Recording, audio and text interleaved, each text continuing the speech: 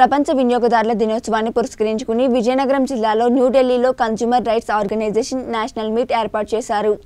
ఈ కార్యక్రమంలో అన్ని రాష్ట్రాల నుండి సిఆర్ఓ మెంబర్స్ పాల్గొన్నారు. ఈ కార్యక్రమానికి ముఖ్య అతిథిగా central consumer affairs food and public dis ఈ కార్యక్రమానికి ముఖ్య అతిథిగా central consumer affairs food and public distribution and environment forest and climate change minister Ashwin Kumar Choubey విచ్చేశారు. ఈ కార్యక్రమంలో వినియోగదారులకు అవగాహన కల్పించడంలో ఆంధ్రప్రదేశ్కి రెండవ స్థానం లభించింది.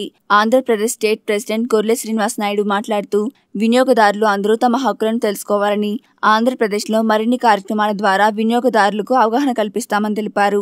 ఈ కార్యక్రమంలో జాతీయ కార్యదర్శి వికాస్ పాండే విజయనగరం జిల్లా president Kanakala Siva town vice president Keshavapatna Chandrika తదితర సభ్యులు పాల్గొన్నారు.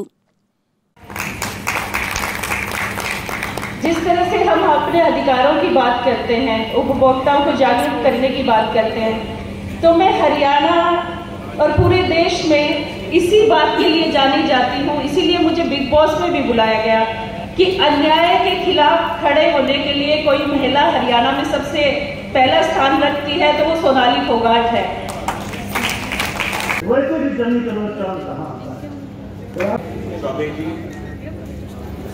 हमारे पार्टी के सीनियर नेता, पूर्व केंद्रीय मंत्री संजय पासवान जी, आपके कंज्यूमर राइट्स ऑर्गेनाइजेशन के अध्यक्ष रविंद्र कल मुझे कुछ हमारे राज्य से कुछ यहाँ उपस्थित हैं, वो भी आपके संगठन के ही सदस्य हैं। उन सबके द्वारा दो तीन दिन पहले मुझे ये यहाँ आने के लिए निमंत्रण मिला।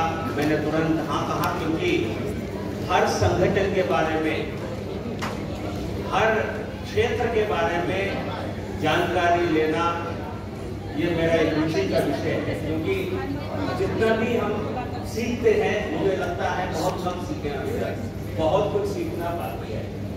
क्योंकि इस देश इतना विराट, इतना इतना विशाल देश है, इतने सारे क्षेत्र हैं, इतने सारे संगठन हैं और उनके काम के बारे में जानना और खेल को खड़ा करने के लिए आपके सभी सदस्यों को मैं बधाई देता हूँ, जो कि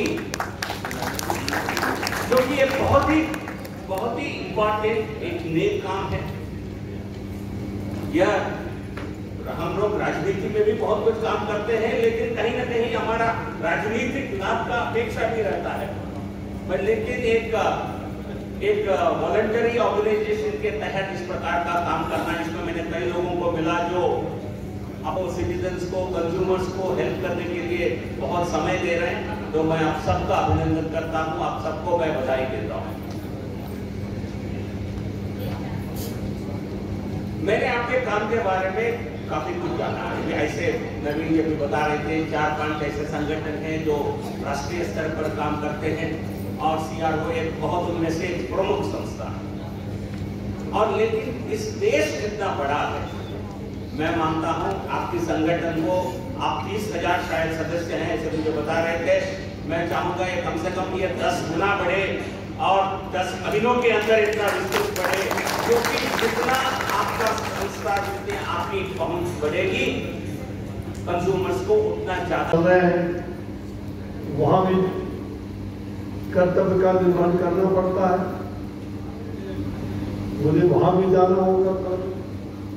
और अनेक दो तीन कार्यक्रम शाम काल में और भी है। मैं सबसे पहले इस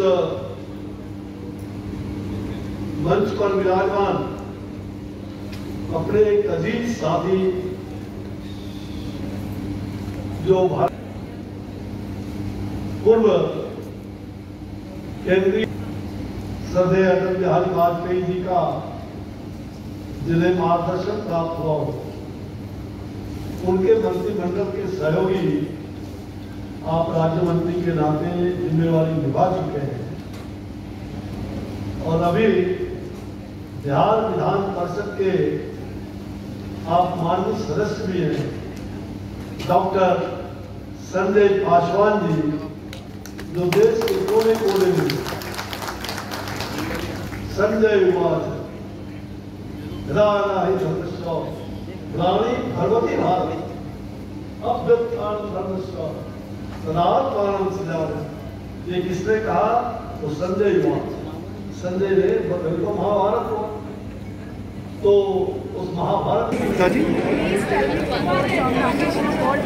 कंज्यूमर को जगाने की ज़रूरत है। कंज्यूमर के संरक्षण आज विश्व स्तर पर कंज्यूमर का उपभोक्ता का जो विश्व स्तर पर उपभोक्ता का अधिकार दिवस है, उस अधिकार दिवस में उपभोक्ता भी जगे और हर उपभोक्ता उपभोक्ता देवो हो उपभोक्ताओं को हर तरह से पर्यावरण का भी ख्याल रखना है हमें वैसा ही सामान खरीदना है जो पर्यावरण से संकट ना भविष्य में पैदा करे।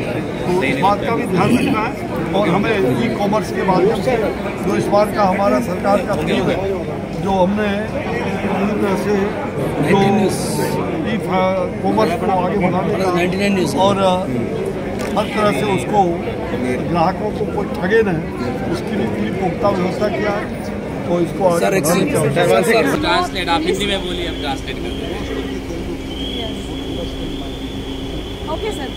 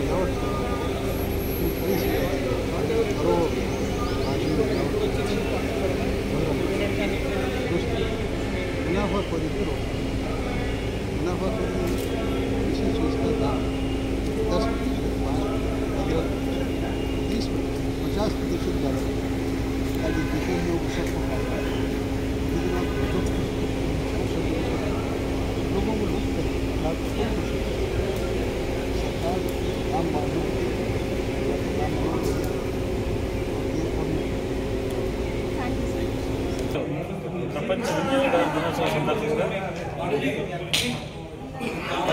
నుంచి ఇండియా మొత్తం నుంచి ఇరవై నాలుగు స్టేట్స్ నుంచి కూడా ఇక్కడ కాన్స్టిట్యూషన్ క్లబ్ రవి మార్కెట్ ఢిల్లీలో పొరల్ కన్జ్యూమర్ డే ఘనంగా జరిగింది మరి ఈ కార్యక్రమానికి ముఖ్య అలాగే జీవో నరసింహరావు గారు అలాగే వివిధ ప్రాంతాల నుంచి వచ్చిన అందరూ కూడా ఇంకా రాబోయే రోజుల్లో ఆంధ్రప్రదేశ్ టీం నుంచే కన్జ్యూమర్ అవేర్నెస్ చేస్తూ అలాగే మా ఆంధ్రప్రదేశ్ నుంచి విజయనగరం నుంచి శ్రీకాకుళం నుంచి విశాఖపట్నం నుంచి అలాగే పదమూడు జిల్లాల నుంచి కూడా వచ్చి ఈ కార్యక్రమాన్ని ఘనవ్యంగా చేశారు. అలాగే ముఖ్యంగా రాబోయే రోజుల్లో ఆంధ్రప్రదేశ్లో అవేర్నెస్ ప్రోగ్రామ్స్ కానీ ర్యాలీలు కానీ కలెక్టర్ క్యాంపెయిన్లు చేసి ఇంకా కూడా వినియోగం చేసేందుకు చేస్తామని ఇందులో తెలియజేస్తున్నాం.